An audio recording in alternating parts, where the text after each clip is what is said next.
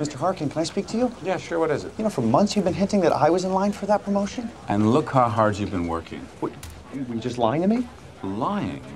No, Nick. Motivating. I mean, look, we're all part of the same team here.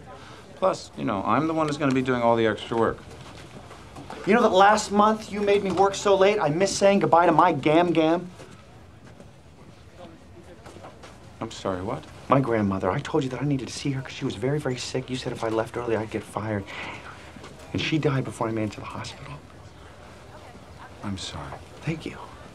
I had no idea that you called your grandmother Gam. Gam.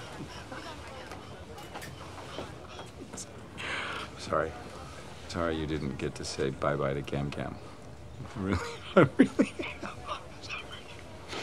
But I needed you to stay here and work late because you were an invaluable member of this operation, and I need you in the position that you're currently